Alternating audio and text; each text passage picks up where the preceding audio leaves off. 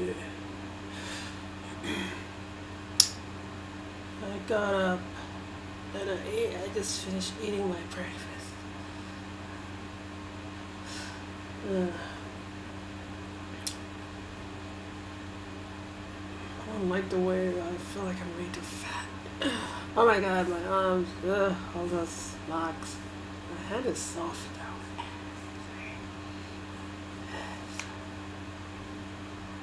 where to look. Do I look this? I like this. Yeah, well, this is my weight, so, uh, so be it. This is how I so I've got to go to the psychiatrist tomorrow. I got to have my first appointment with the psychiatrist. So nervous, anxious. I don't know if I'll continue to see the psychiatrist, but I have to see. I have to find one of them. I also need to find a therapist. Yeah. I need to find a therapist who specializes in childhood. What is it? Childhood trauma. Adult survivors of childhood abuse and trauma. Um, I don't know. I feel very self-conscious. I feel like I'm putting on a mask. I'm hiding myself.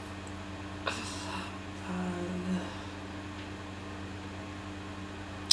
don't know. I guess when I when you learn more and more about this whole personality issues, trauma issues, it's like I feel more and more more like uh, like the more I know about the more I know myself, the more I want to the more uncomfortable I feel talking about it. Because I feel like this is something it's very personal about you and that you should uh, protect it or give it its due privacy. Yeah, not like just flaunted and be so exhibitionist about it. And, um, anyway, so I'm also like um, 17 year old, this whole self care thing and what I want to do in my life and, and all that. So uh, spoke to my friend last Friday and look, I've been I've been like seesaw, seesaw, seesaw. Oh, this thing for such a long time. What I want to do is I'm just gonna put the application in for the admission, the legal profession admission board. It's like nine hundred dollars. So she's gonna write a character reference for me. I gave her the um. Actually right here. This is my. This is my. I'm not gonna show. So It's like a. This is my disclosure. So I'm just gonna. I just gave her this to read. So I need my another character reference. Uh, I want to just get my mom's friend who uh, she knew me when I was a kid, and she might write the second character reference. So I've got to do that tomorrow after the psychiatrist appointment. Uh, so I'm just I want to. The plan is to send this application in next week. Uh, next week, Tuesday, 14th of June, because I checked like my last uh, semester in 2011 started on July 18, 2011. So I still have that time. So I have to make it before July 18. So June 14th is the. I'm gonna, I'm gonna go to the city and submit my application in person. Uh, yes, nine hundred dollars, is a lot of money. But um, yeah, so I borrowed the money from my brother, who's been like very generous. So I don't know. I think he just wants me to get a job and leave, so he can, uh, you know, he can live his like I mean he's gonna live his you know live his life anyway but uh, yeah so. so anyway so I'm gonna link to a video by someone called Show Boundaries and she talks about like this codependence have a very hard time. One of the reasons they engage in manipulative behavior is because they have a very hard time asking for other people to meet their needs, verbally articulating it, uh, because they don't feel like they are worthy enough. So like, like, and I'll, I'll link to the video and I'll maybe link to the timestamp. So like for me, I've, I've, I've, I've I mean. I should probably not talk about my mom because I need to respect her privacy, but uh, you know, the, one of the reasons I I tend to be manipulative. It's not like a when I say manipulative, it's not like a malicious, evil manipulation. It's just a it's just a coping mechanism because you because you don't feel like you deserve your needs like love whatever it is like as a child maybe you never got it so you, you engage in this manipulation or pleasing or whatever it is to get people to give you security or whatever, affection, whatnot. And also like maybe uh, for me personally, uh, you know, asking, telling people I have these needs is also like there's a lot of shame associated with it because it, sort of makes you feel extremely weak and vulnerable. Like when you tell someone, "Hey, I have these needs, and uh, could, you do something for me?" Um, చేపికుండా బాగుంటున్నారు ఇప్పుడు ఇప్పుడు అది చేసిన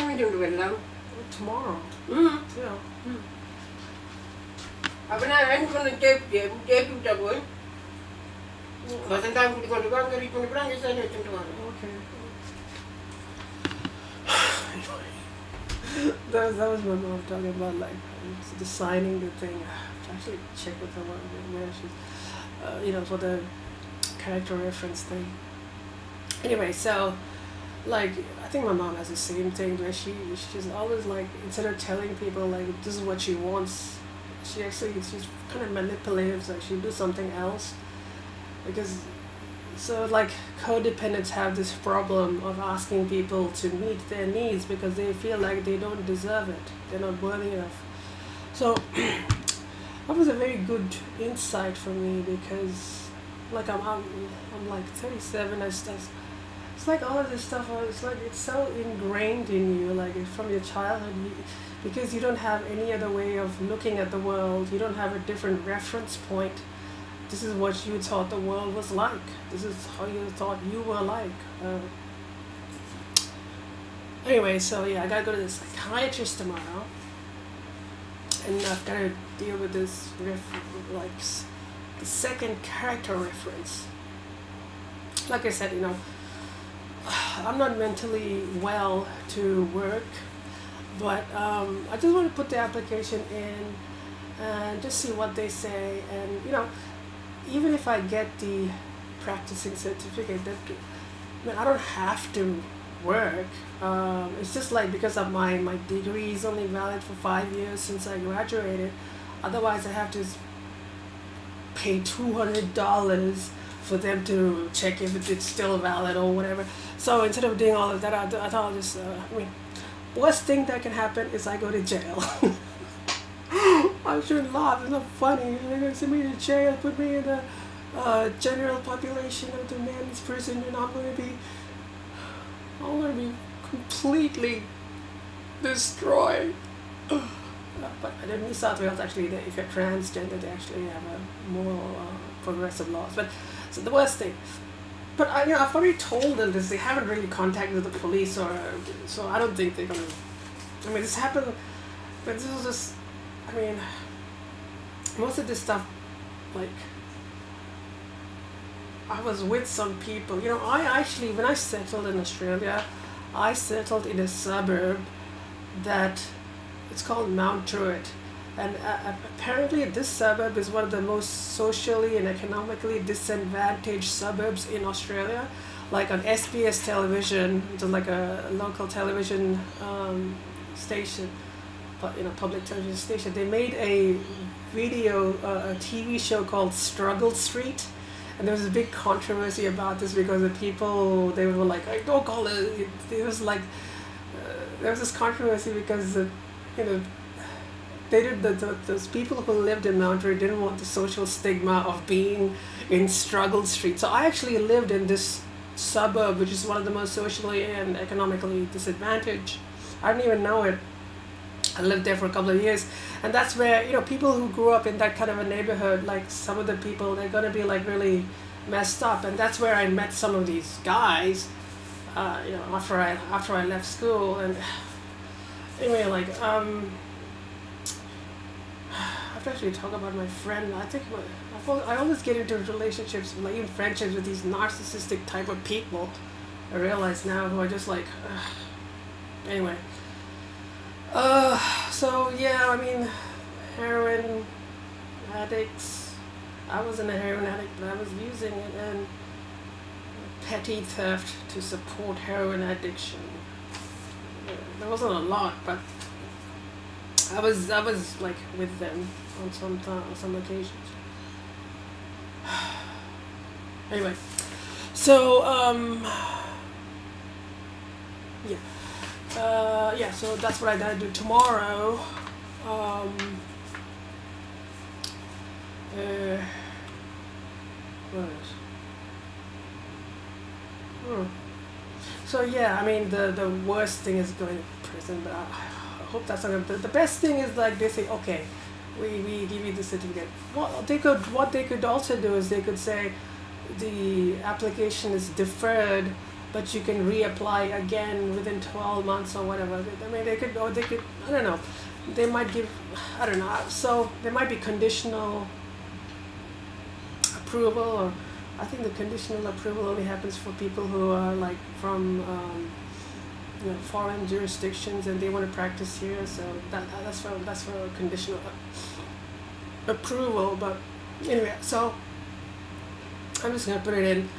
Uh, you know, just keep my options open. I'm not saying this is what I want to do, but I just want to. Uh, uh, know, one of the things I feel a little less depressed now is because I sent in that app, uh, disability application.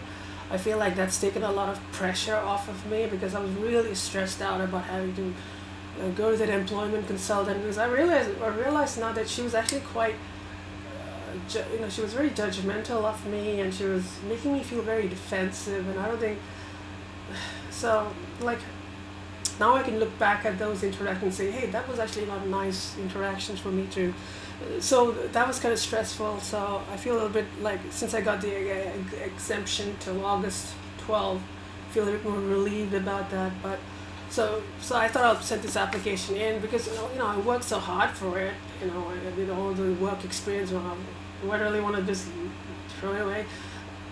See, another thing is about me is like my parents, whenever we were growing up, they weren't really like, if we achieved something, they'd be like, oh, you have to do better. So we, so as a, as a kid, you never felt like you were good enough. I mean, I, I could uh, joke about it, but yeah, your parents, like, even if you did very well or something, they're like, oh, yeah, yeah, you gotta do better.